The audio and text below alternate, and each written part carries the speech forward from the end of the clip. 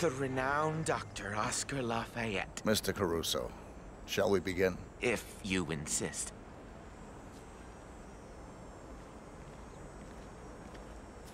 So, Ether sends a specialist to rummage through my brain. They must think I'm losing it again. Relax. Start by telling me what's on your mind. Isn't it obvious? I'm under a lot of pressure. Work. Mother died last year. Stress manifests itself in the strangest ways, I am told. Your mother, Isabella. Would you like to talk about her? Look, I... I know what you're driving at. My neuroses, my anxiety, my social phobias. Not the least my pathological fear of women. It's all deeply rooted. Go on. I had a girlfriend, you know. In high school. Pretty, too. Popular. And I was shy. Bookish.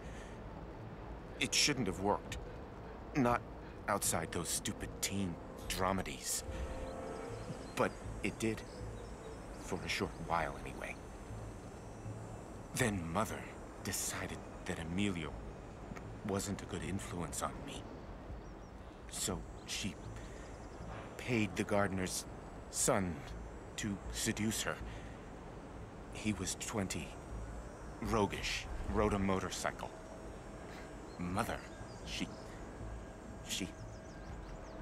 had pictures taken.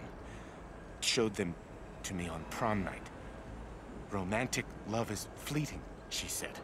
Only a mother's love endures. What... do you want me to say? I loved my mother. I hated my mother.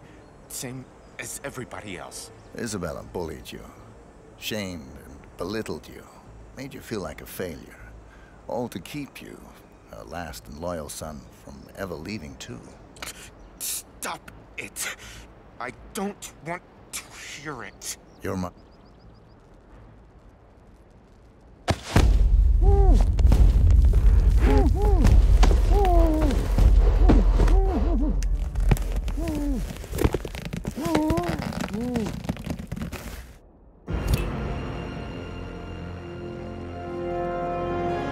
Two targets down.